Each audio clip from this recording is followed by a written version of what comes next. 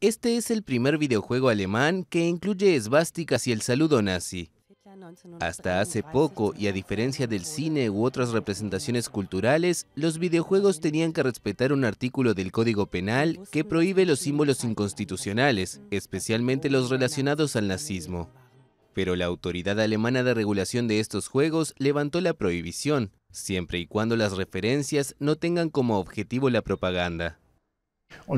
Estamos felices con esta decisión porque significa que los desarrolladores que quieran contar historias importantes, que se acerquen a ellas de una forma creativa y responsable, ahora pueden llegar realmente a su audiencia y a las generaciones más jóvenes, para quienes es importante que les digamos la historia de Alemania con precisión.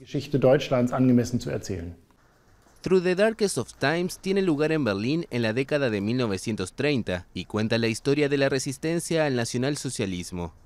Hasta ahora, en juegos como Call of Duty, en su versión alemana la cruz gamada se convertía en un triángulo.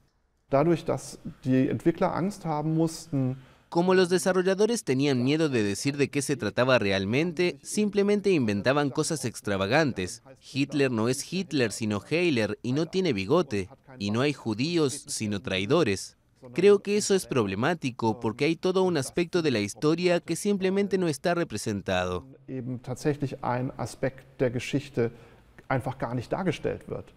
La autoridad de regulación alemana no autorizará de forma global los símbolos, sino que estudiará cada caso para saber si su presencia en un juego es socialmente apropiada.